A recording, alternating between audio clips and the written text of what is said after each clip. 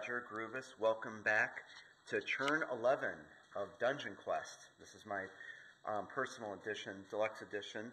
And I just want to explain, if you guys didn't know, I did this little box. And of course, this is my the original box, and I added all the other stuff for my personal deluxe edition of Dungeon Quest. And I will upload this file so you guys can do this if you wish. All right, let's get into this because it's pretty exciting, I think. Um, as always, we're going to move up the sun tracker for turn 11. And we left off with, again, Vol, Volrik is in the catacombs. That little arrow is representing him. So we're going to come over here to the catacombs deck, cutting, and see what he finds in the catacombs. Oh, you saw me cut that deck, right? You saw that. He found that is the biggest treasure in the catacombs, but he's got to get out of there.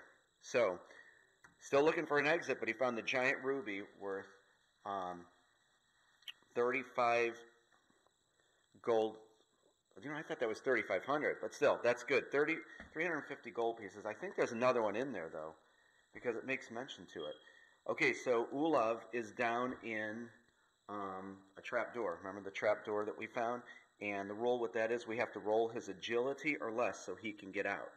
And so his agility is 5. We're going to take the D12. And we need a 5 or less for him to boost himself out. And no, that is a 9. So Ulav is going to stay there. And now for the big one. And I thought about this. Do we push our luck? The dragon's still sleeping. We got a lot of treasure. This is a very good high score.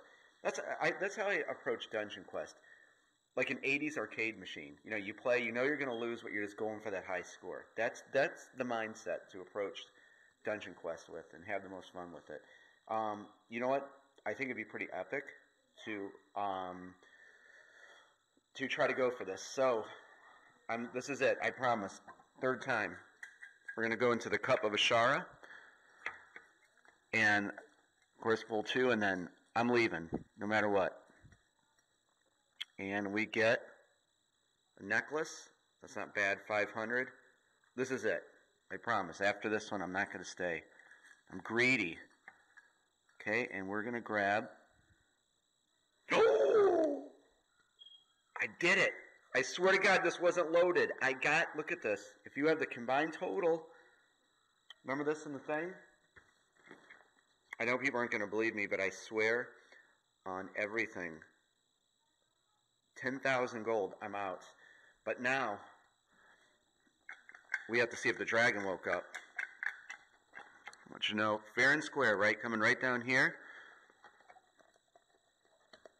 And I got one.